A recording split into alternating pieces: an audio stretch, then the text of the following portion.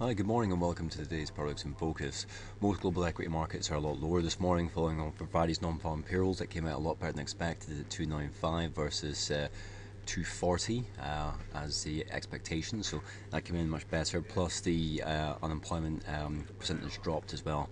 Um, all in all, pointing to a potential summer uh, rate hike over in the US, uh, with the Treasury markets potentially looking as soon as June being priced in. But that obviously changes more macro fundamental data releases come out of the US, and there is uh, um, another statement getting released by the Fed on the 18th of March, which everybody will be looking at exactly the type of rhetoric that is. Um, is utilised, specifically the removal of the term uh, patience uh, in regards to uh, interest rates in the US. So the US 30 obviously having a, a, massive negative candle right there, fully bearish engulfing pattern, breaking through multiple levels of support, uh, and 21 period SMA just shy of that 55 period SMA. Certainly, as long as we're below 17,895 that's negative, opening up a pathway to 17738 um, as we have crossover the MACD and across on the slow stochastic as well. So from a technical perspective, um, chart not looking so great, and obviously this is uh, just a short term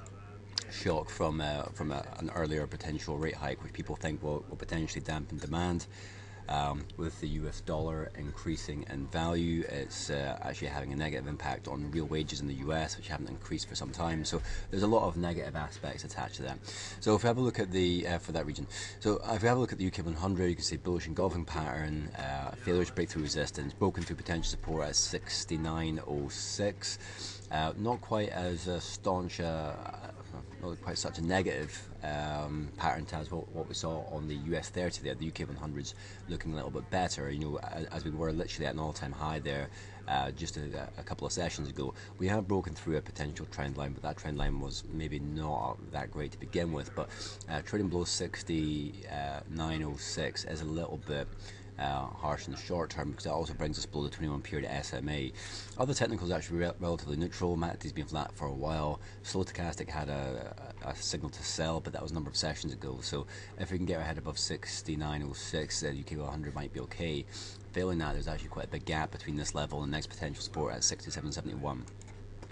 Moving on to Japan 225, and the dollar yen's been all over the place since um, the non-farm payrolls figure came out.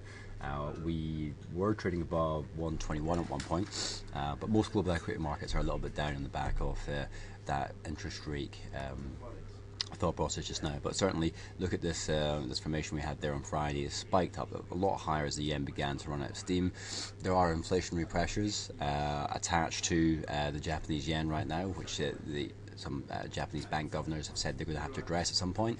Um, so that is quite firmly a doji formation right there, but uh, 18648 is next potential support level to be aware of. So if we jump on to that dollar yen position, you can just see where we were, finally breaking above the, the highs right here from September. Uh, we're still trading above that right now. 121.87 is the potential resistance level to be aware of, and as that spikes higher, Japan 25 should move higher as well. So moving on to uh, West Texas crude latest report for Goldman Sachs seems to indicate that they are expecting a $40 a barrel move at some point. Uh, albeit most of these uh, investment banks do come out with uh, all sorts of crazy targets. Citibank came out with a target not that long ago with a value much lower than that. But um, with the, the US dollar moving the way that it is, crude oil inventory has been incredibly high.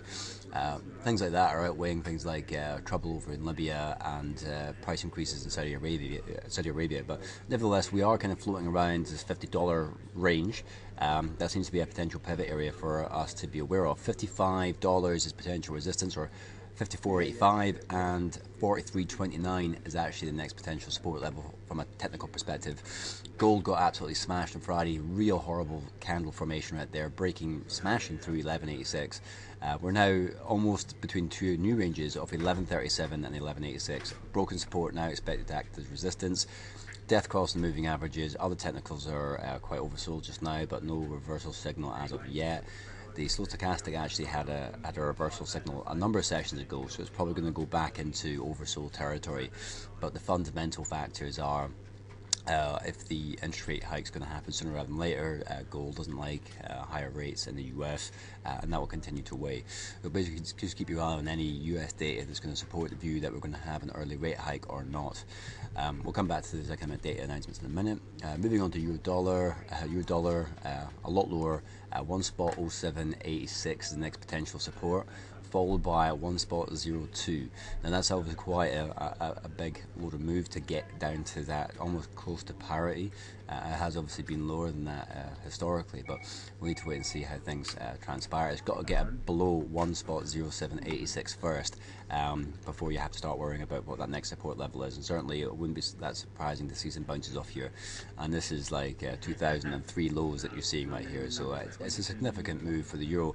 Good for the eurozone countries, I guess, because it makes their goods more competitive, gets more tourism there, etc., etc. So uh, it's actually going to be helping the eurozone rather than hindering it to a certain extent especially when it comes to a lot of their debts.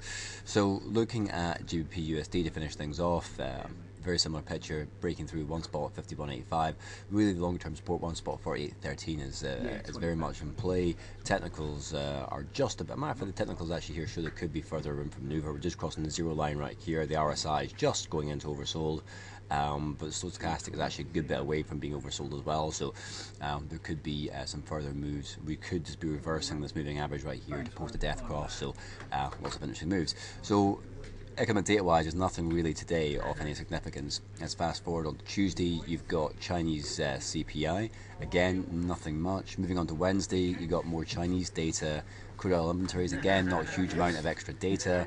And then move on to the 12th of March, and we've got CPI uh, from Germany, which will be quite interesting, and also industrial production and uh, US unemployment claims and retail sales. So it does uh, promise to be a fair, a fair, amount of stuff on Thursday, the 12th of March.